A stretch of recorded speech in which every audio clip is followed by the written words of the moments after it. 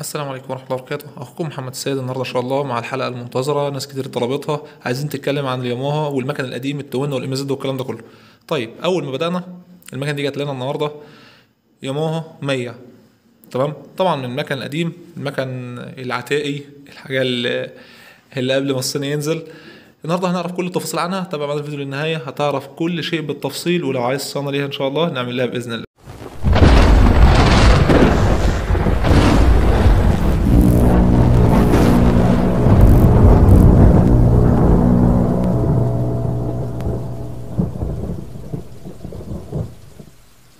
ورجعنا تاني مع ياماها. طبعا شركة ياماها شركة عالمية زي هوندا وزي الهارلي ديفيدسون حاجات كتير كده ما شاء الله. شركات عالمية يعني ثقة وكفاءة و... طيب زي ما تعودنا في أي موتوسيكل هندخل على المحرك الموتور الأول. محرك 100 سي سي حاجة محندقة وصغيرة طبعا ميول غرفة الحريق اللي قدام. قبل ما نتكلم عن الميول نتكلم عن الأول ده ثنائي الأشواط.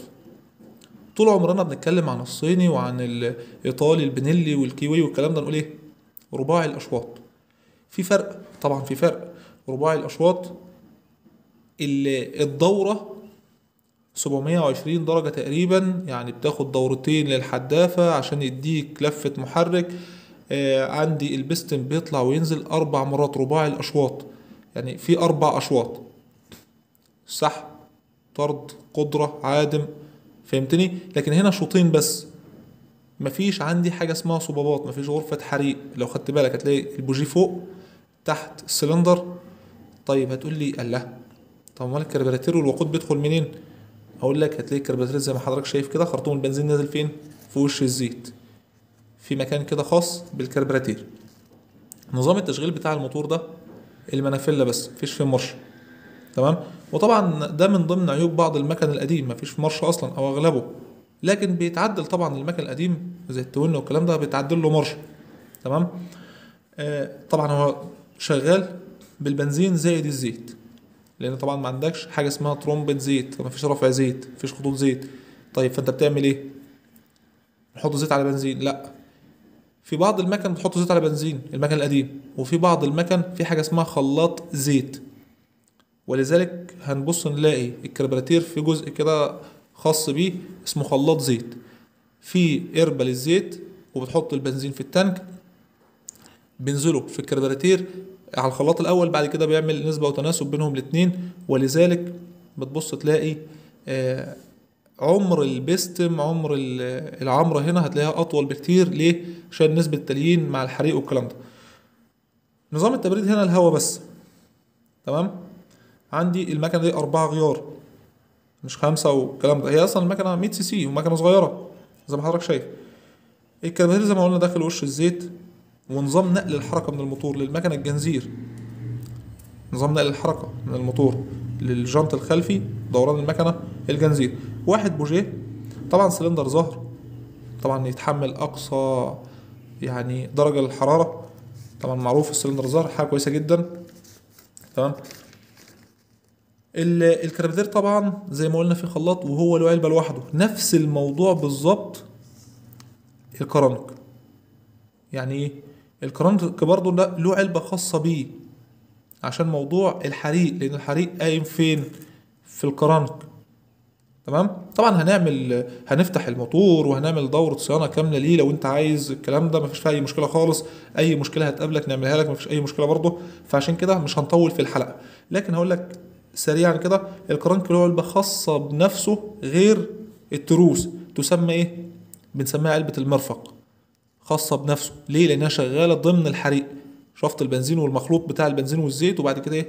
الحريق والعدم والكلام ده تمام؟ ده سريعا كده كل حاجة عن أو أغلب الحاجات عن الموتور أي سؤال أو استفسار طبعا هنستناه في التعليقات مفيش أي مشكلة ولو عايزين دورة تعليم صيانة عن الكلام ده مفيش فيها مشكلة برضه اتنين مساعد أمامي ركبة طويلة لو خدت بالك طب يعني إيه ركبة طويلة؟ تبص تلاقيه ثبات واتزان كأنه مساعد مقلوب. تمام؟ يعني حاجة كويسة؟ آه كويسة جدا. المكنة طبعا. لما تلاقي حجم زي ده صغير هتلاقي طبعا المكنة خفيفة وسرعة كبيرة. لأن الحجم طبعا إحنا قلنا قبل كده بيتحكم في السرعة. طيب أنا لما يديني حجم صغير ووزن قليل فلازم يديني إيه؟ حاجات تعمل لي ثبات على الطريق.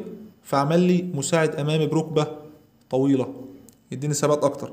الشاسيه من الصاج المحمل المجلفن وطبقتين مع بعض. تمام؟ قوة ثبات آه حاجة ثابتة معاك. جنطة أمامي وخلفي 40 سلك. تمام؟ عندي التانك من الحديد سعة 12 لتر. وحنفية بنزين ثلاث مستويات عادة واحتياطي وقفل لو هن... هنقفل البنزين. تمام؟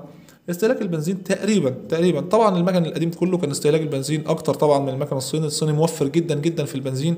يعني بنقول لك اللتر ممكن يمشيك 45 كيلو في المكن الصيني. لا هنا 5 لتر بيمشوك حوالي 100 كيلو. تمام؟ تقريبا يعني اللتر حوالي 20 كيلو بس. تمام؟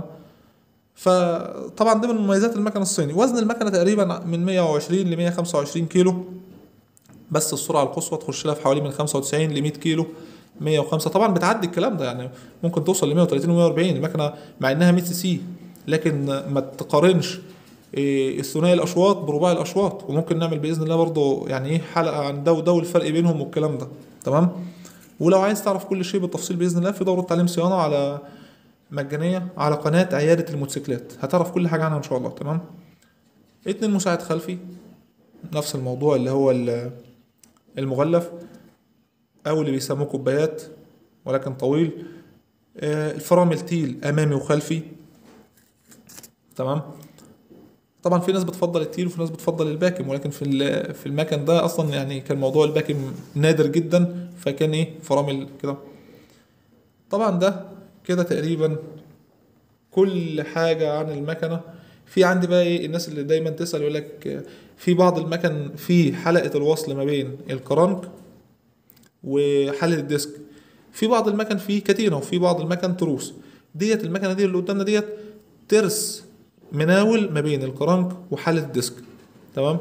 لكن مفيش حاجة بقى اسمها تروس تقسيمة ولا كتينة. عشان الناس ما تجيش تحت تقول لي إيه طب الموتور على كتينة ولا مفيش الكلام ده. ليه؟ لأن أصلا ما عنديش صبابات وسياخ و... وقعدة تكهات وشواكيش والكلام اللي فوق ده. أنا ما عنديش غرفة حريق أصلا. أنا عندي سلندر. بس. مفيش أكتر من كده.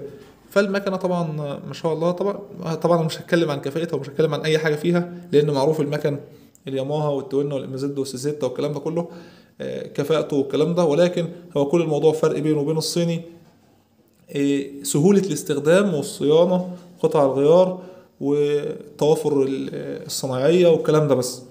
تمام؟ وطبعا إن كل الناس عارفة الكلام ده. الكلام ده مشهور جدا جدا جدا. يعني هنا في خلاط زيت وأبلاتين وكهرباء و... تمام؟ فمش أي حد هيشتغل فيها. لكن الصيني أي حد بيشتغل فيه أي حد بيتعامل معاه أعطاله سهلة وبسيطة قطع غياره سهلة وبسيطة ومتوفرة. حتى نفس الموضوع أنت بتروح تفول هتحط البنزين شكرا انتهى الموضوع مفيش حاجة اسمها زيت ولا خلاط زيت ولا الكلام ده كله. تمام؟ دي كده كانت نبذة مختصرة كده وسريعة عن ياماها 100 أي سؤال أي استفسار هستنى من حضرتك تحت في التعليقات. عايز دورة تعليم صيانة ليها مفيش مشكلة. عايز أي حاجة MZ twin أي موتوسيكل تحت أمر معاليك وبس كده ما تنساش المشاركة الاشتراك في القناة. لو مش مشترك في القناة الإعجاب تعليق ذكرنا بالصلاة على النبي في التعليقات.